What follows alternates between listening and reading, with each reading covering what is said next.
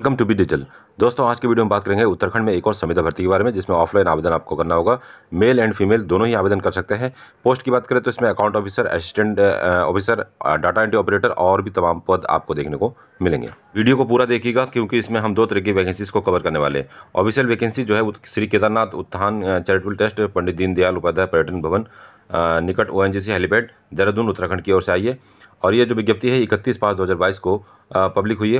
विज्ञापन संख्या आप यहाँ देख सकते हैं। उत्तराखंड पर्यटन विकास परिषद के अंतर्गत श्री केदारनाथ उत्थान चैरिटेबल ट्रस्ट के संचालन हेतु प्रस्तावित पीएमयू के गठन हेतु निम्नलिखित पदों पर संविदा के आधार पर भरा जाने हेतु आवेदन पत्र आवेदित किए जाते हैं। की बात करें तो इसमें प्रोजेक्ट कोऑर्डिनेटर, सिविल इंजीनियरिंग के एक पद है, कॉन्ट्रैक्ट मैनेजर के एक पद आपको देखने को मिलेंगे, एडमिन ऑफिसर के दो पद, अकाउंट ऑफिसर के एक पद, अकाउंट असिस्टेंट के एक पद और डाटा एंट्री ऑपरेटर के दो पद आपको देखने को मिलेंगे। इच्छुक अभ्यर्थी अपना आवेदन पत्र बायोडाटा, रजिस्टर्ड रिसीट पोस्ट से दिनांक पंद्रह छः दो को प्रातः सॉरी शाम पाँच बजे तक भेज सकते हैं। अभ्यर्थी को आवेदन पत्र के लिफाफे के ऊपर स्पष्ट रूप से लिखना होगा पद का नाम और जितने भी डॉक्यूमेंट्स है उसको आपको निर्धारित तिथि से पहले भेजना होगा। इसके लिए आप वेबसाइट पर विज़िट कर सकते हैं। जो विज्ञापन है वो श्री केदारनाथ उत्थान चैरिटेबल ट्रस्ट की ओर से ही आई है, और विज्ञापन प्रकाश होने की तिथि है वो इक्कीस पाँच दो है, और जो पत्रांक संख्या है या विज्ञापन संख्या है वो भी अलग है। इसमें तकनीकी विशेषज्ञ, परामर्शदाता के एक पद है, और प्रशासनिक अधिकारी के जो एक पद है और फॉर्म भरने की जो अंतिम तिथि है, वो है छः छः दो हज़ार बाईस है। अधिक जानकारी के लिए आप वेबसाइट विज़िट कर सकते हैं। इसका जो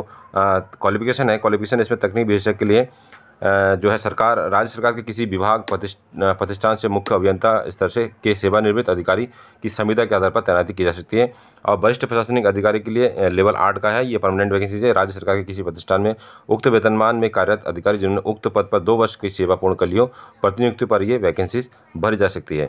इसका एक फॉर्म का पीडीएफ भी है।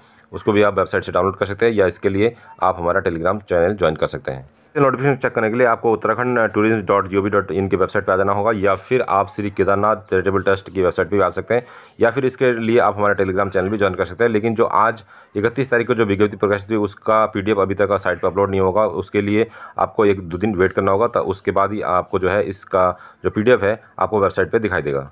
ये था आज का वीडियो। वीडियो पसंद आया तो वीडियो को लाइक और चैनल को सब्सक्राइब करना ना भूले। इस वीडियो को रिगार्डिंग कोई और जानकारी चाहिए तो आप हमें कमेंट कर सकते हैं या फिर वीडियो के डिस्क्रिप्शन में आपको हमारा टेलीग्राम और व्हाट्सअप का संपर्क सूत्र मिल जाएगा। उसे भी ज्वाइन कर सकते हैं। मिलते हैं अगले एक ऐसे इंटरेस्टिंग वीडियो में। तब तक के लिए अपना ध्यान रखिए। Bye bye. जय हिंद।